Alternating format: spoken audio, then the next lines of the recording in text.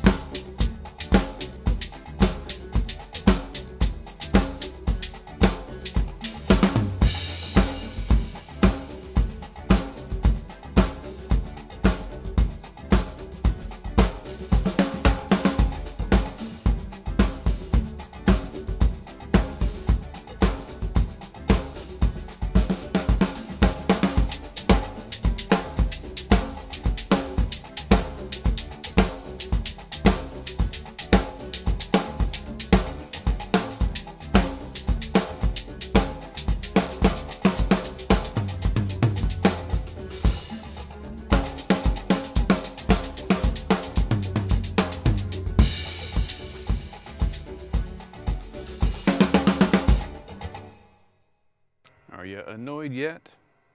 These are some weird patches.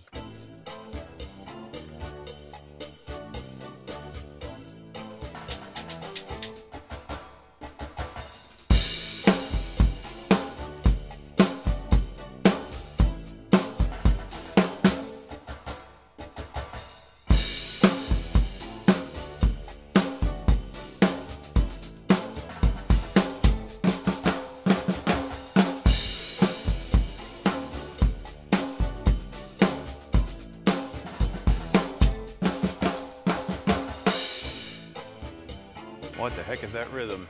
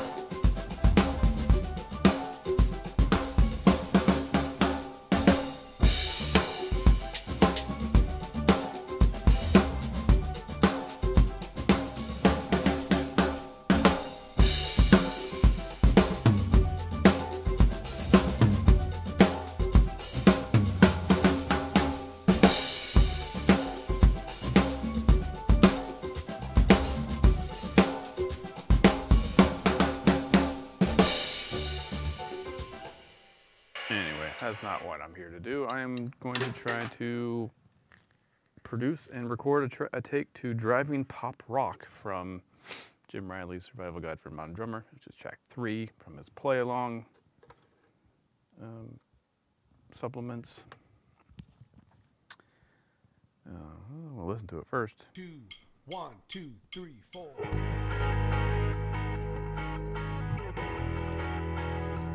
Sounds like an 80s car race or something. Tom Cruise should be in this one. Look at this. Alright. Got some decisions to make.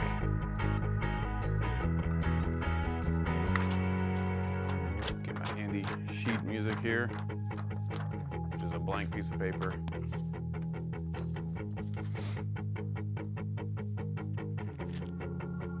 Relentless eighth notes. Sixteenths might be unnecessary, maybe some of the fills, maybe not.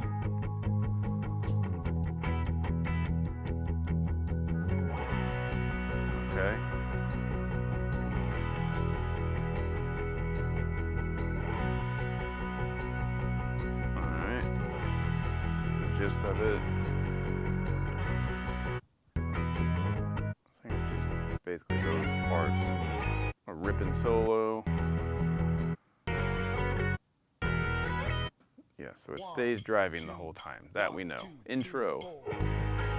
Drums in or whole notes?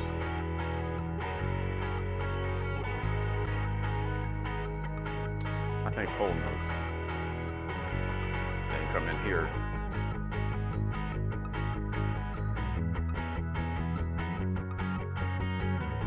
Because this is still an intro. If I remember correctly, it comes back down, verse. All right, so that's the first 30 seconds. We'll say whole notes, crash, crash, crash, crash, crash, crash, in,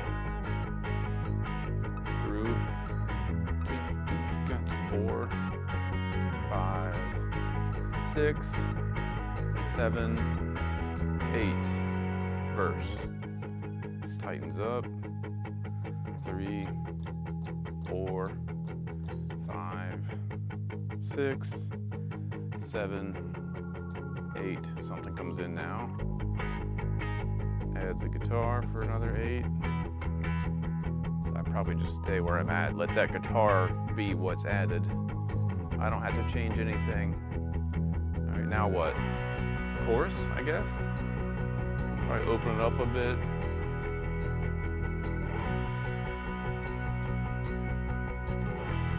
That's eight. All right, play. We're gonna do two cycles. Just down smidge. All right, that's another eight, and then intro two, four, five, six, seven. Is gonna come back down. Yep, another verse. This time the keys are added. Five, six, seven. Now is it gonna be another repeat or straight to the chorus? Add the guitar back. Four, five, six, seven, I guess straight to the chorus. Boom. Question is, what do I do? Do I change? Do I stay? Do I open up? Do I keep it closed? That's eight. Another repeat.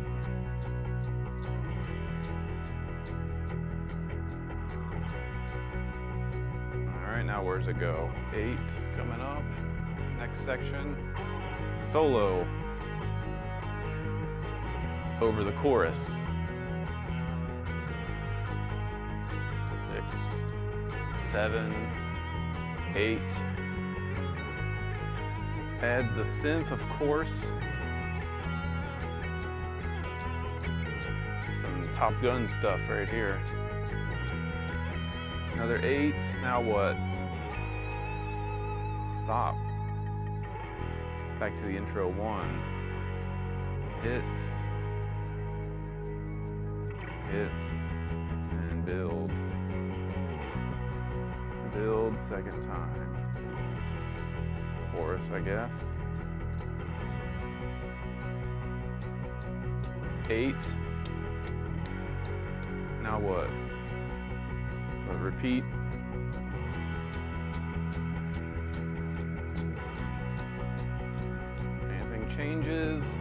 Eight. Now what? It's a repeat chorus with a guitar. Add eight. Adds that synth.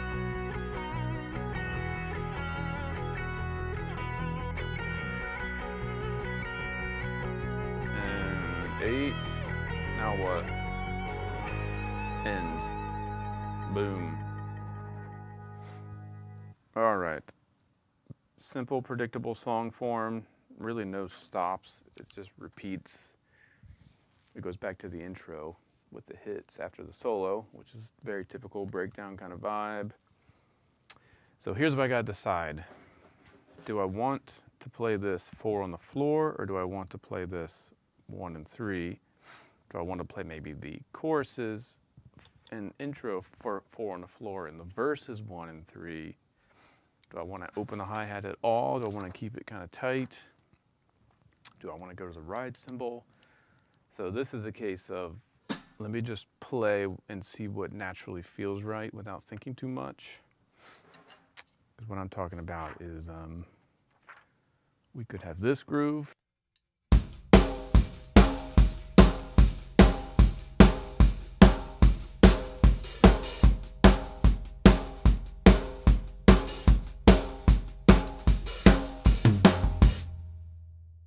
Simplify it.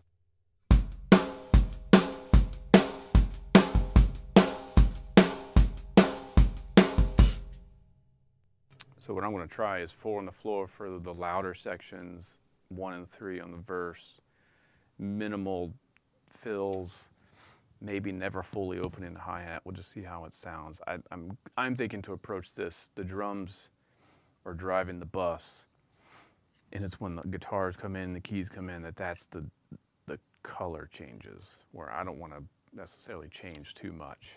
Just kind of keep driving minimal fills, minimal offbeat stuff, minimal open hi-hat things that could kind of pull the feel back. So I want to like lean forward and see what happens. One, two, one, two, three, four.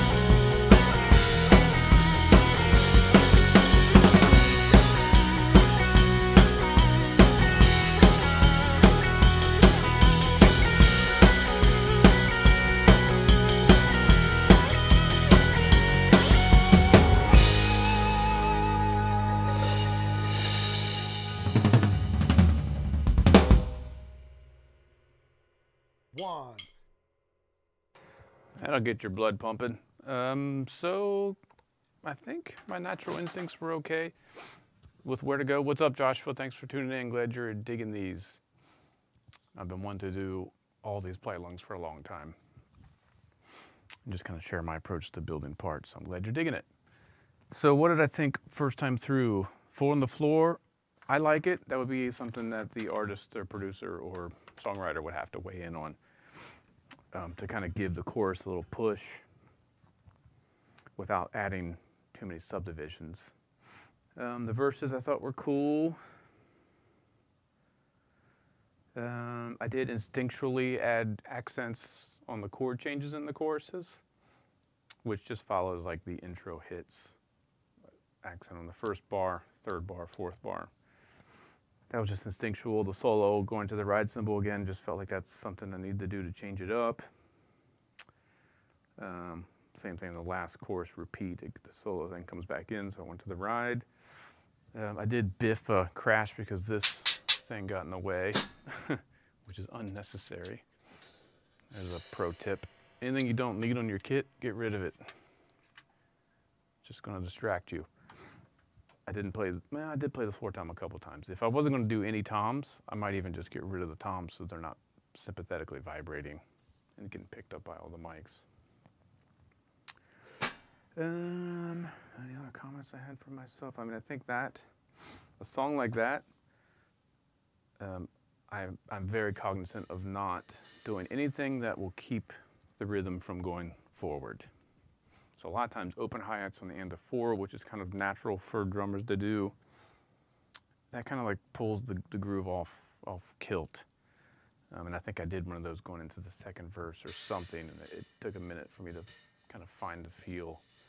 So I would minimize that stuff, keep everything quarter note driven. Um, fills, maybe I would do a take with less fills, like no fills, just to see if that's all it needed. And then, then I would do a take with a, a bunch more like 16th note fills going into the different sections. So we have options. Um,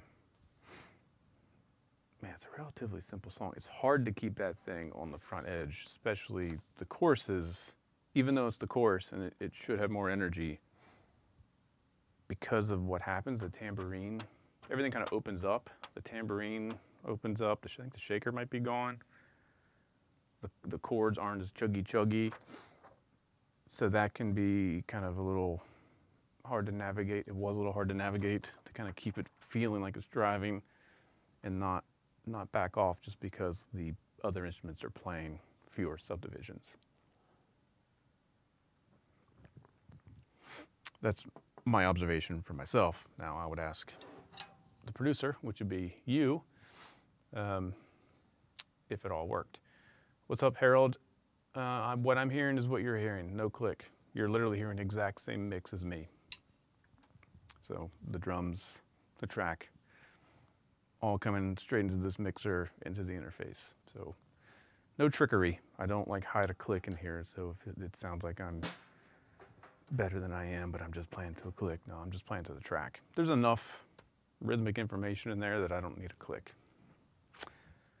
Plus, if this was the final track and they were wanting me just to put drums on it, a click could be distracting. It could pull me out of the out of the feel. So yeah, highly recommend playing along the play along tracks with no click. They've definitely recorded to a click, but I would not superimpose a click over top of this. Just learn how to play with the music. Listen, listen deeply, intently. Commit to your groove, but also make micro adjustments that aren't as noticeable, that aren't noticeable, but you know you're making them. I had to just change my little rash guard cover here. So yeah, good question. That's something I, I'm I'm gonna get on my soapbox soon about to click or not to click. So yeah, you're hearing what I'm hearing. I'm gonna just do another take, just see if I can beat that without thinking too much. Hit me up with any questions if you have any. The song is four minutes long. I'm gonna sweat another one out. Two, one, two. One, two, one, two, three, four.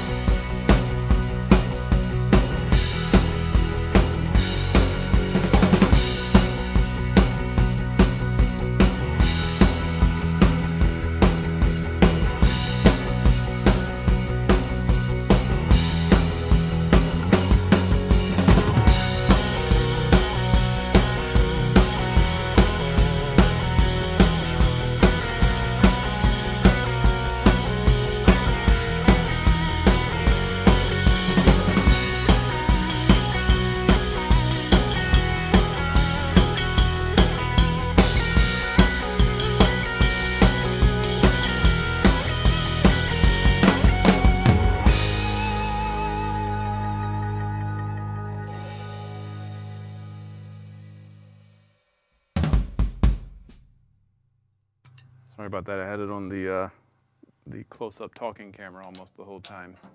Not the most exciting thing to watch. So what I do in that that take, um, a little bit more aggressive in the chorus with the open hi-hat. But what I'm doing there, very deliberately, even though I'm playing open hi-hat, I'm trying to not hit it too hard and I'm trying to drive the groove actually with the kick. So this is what I did.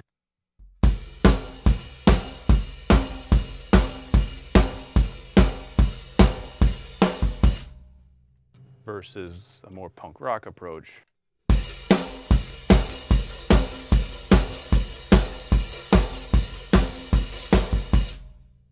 Trying to get the hi-hat to kind of swish under the kick, almost as if there was a side chain compressor, meaning every time the kick hit, the hi-hat was kind of ducking.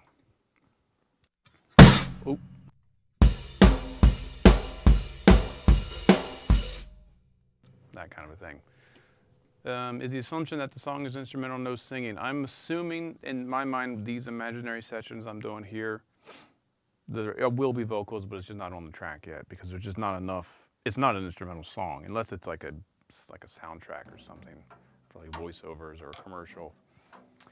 So I'm approaching as if there will be vocals, we just don't know what they are yet. So staying out of the way, only you know just playing the arrangement, not trying to like be the featured artist because not knowing what the vocal is going to be, if I play a bunch of crazy fills, odds are I'm going to be stepping all over the vocal. So in my mind, this imaginary scenario, we are getting basic tracks to then put vocals on later, which means keep it simple, super simple, always. So I did that differently, like driving the kick in the chorus with a much more sloshy hi-hat. I also treated the intro sections, the interludes, more like the chorus. So kind of as if the chorus just carries over into the interludes before we bring it back down to the verse. What else did I do? Some Stewart Copeland kind of ride cymbal stuff. I don't think it's going to make the cut. I probably wouldn't do that during the um, second half of the solo. Ting, ting, ting, ting, ting. Maybe, maybe not. It, maybe, it didn't feel necessary. Um, it was just an instinctual thing because I listened to the police so much. Stewart Copeland is such a massive influence that whenever I play anything in this kind of tempo, I go into his mode often. Yeah, I asked because of the choice of time to use crash. Yep. Um, in this case, I'm only crashing during section changes the starts of the section changes and big kind of chord hits in the chorus. So there shouldn't be anything about that that would get in the way of a vocal. But, you know, that would be something for the producer to say, hey, let's, let's do no chord, no crashes leading into the verse or no crashes inside the chorus, just, just at the start of sections. That's a simple, that's a simple note that obviously I will, I will do if asked to but I'm just trying to give you all, all the base. Like these are what I'm, these are things I'm hearing that sound natural. We can add or subtract from here.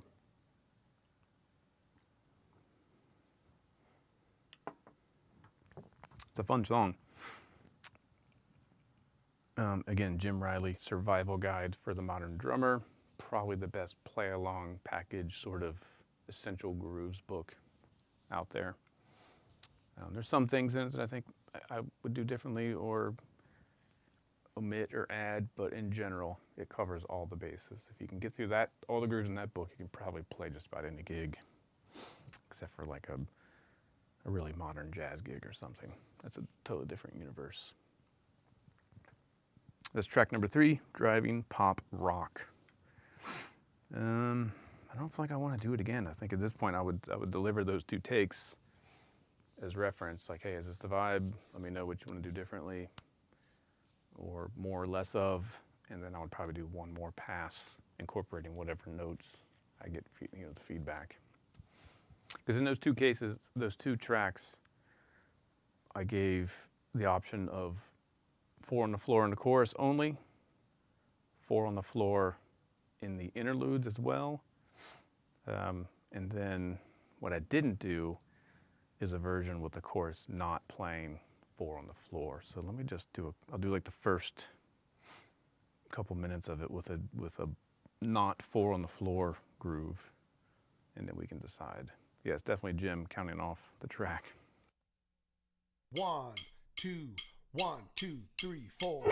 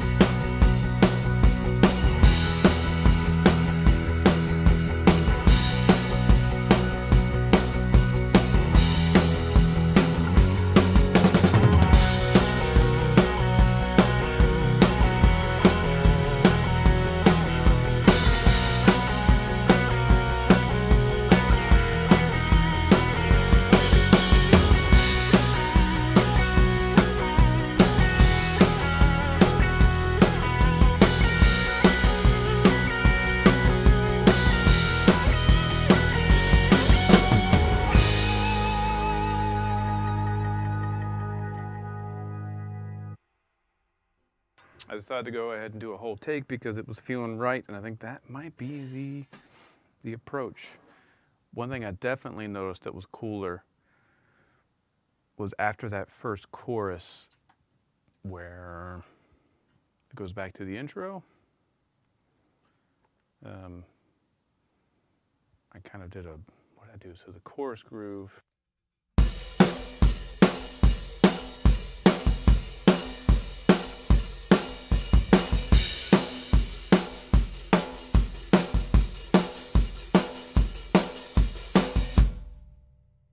Hear the difference. So for that re-intro, I did kind of a more, more like deliberate eighth note, kind of Marky Ramone kind of thing coming out of that first chorus, and it felt right not having the four on the floor. So I'll do four bars of the chorus groove to that intro groove. See if you can see what's happening with the hi-hat.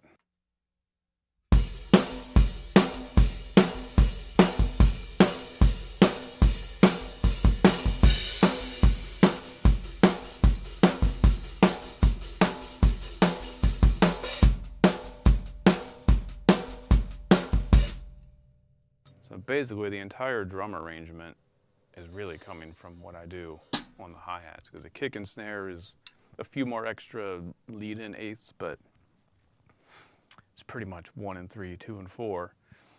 So everything comes to be about like verse is very chunky close, strong quarter note, chorus sloshy with a quarter note.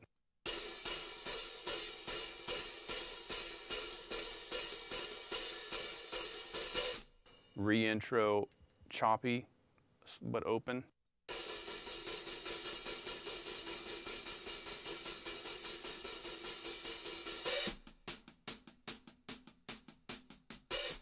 And then for the solo, I want very deliberate eighth notes on the ride.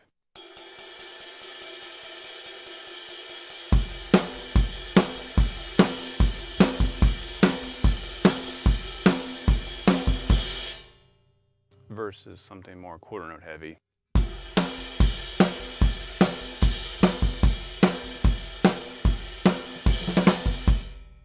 I just felt like that's where it wanted to go to kind of give us. Cause I think maybe the something comes out, maybe the shaker's out, to kind of chug it, chug the eighth notes a little bit more, give it more of like a war on drugs kind of sound. Um, yeah, so it all this whole arrangement is determined by what, how to play the eighth notes with the right hand. It sounds really simple, but there's a lot of subtlety and not so subtle things you can do. So I would suggest practicing that. Literally, just watched Jeff Porcaro's um, instructional video from like 1989 or whatever on YouTube last night, and this is a section of him. There's a section in there of him talking. Um,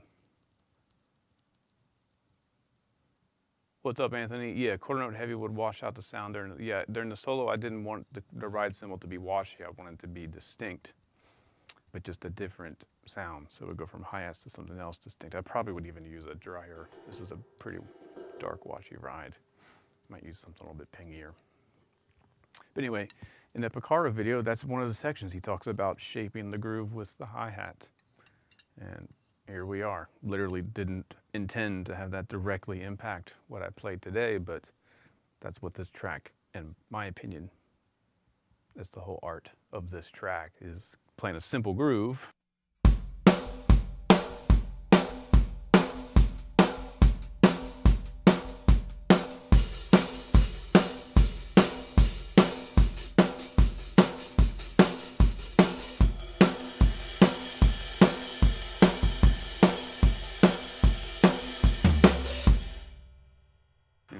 Five different ways. The kick and the snare volume dynamically is the same because it's, it's driving rock and roll. You don't want the kick to be quieter. The kick has to be strong and push. The backbeat has to be strong.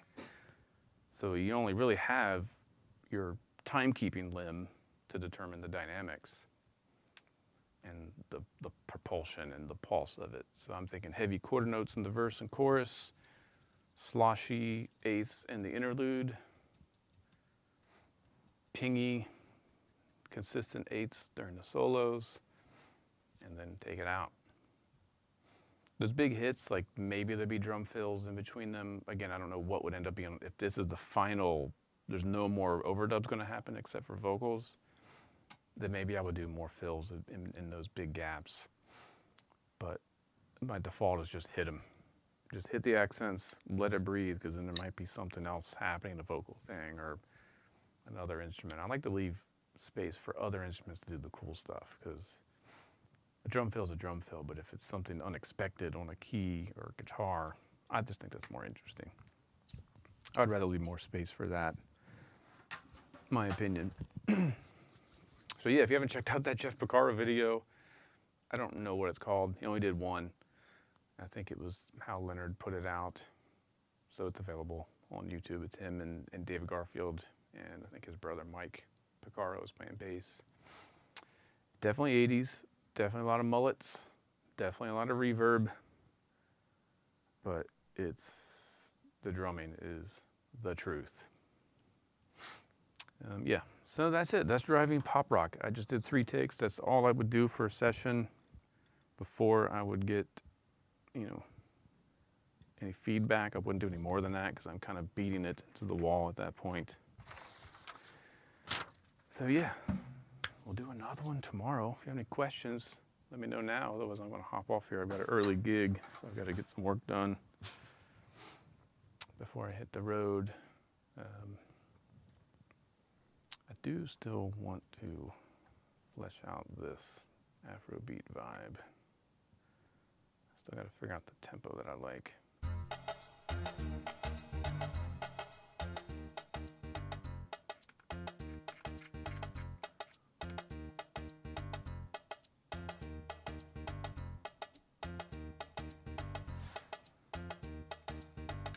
Even sure if I like the piano in there.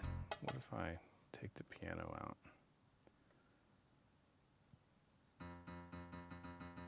Track one, mute.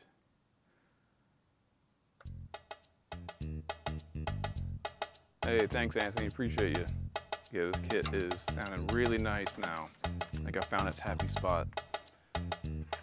Low, beefy, a little bit of dampening, single ply coated kick batter, uh, calf tone logo front head, to the Remo, um, whatever those Dave Weckl sausage muffler things, 22 inch one on the batter side, 22 inch one on the front side, just a, a old bath towel kind of draped in the middle to, to cover the, the rest of the bottom of the shell. Tuned, I would say, med- medium low. The toms are low. As of yesterday, these were all tuned to you know, F sharp or C sharp. So F sharp, C sharp, F sharp, F sharp. They're probably falling out a little bit, but that's that's where they were at.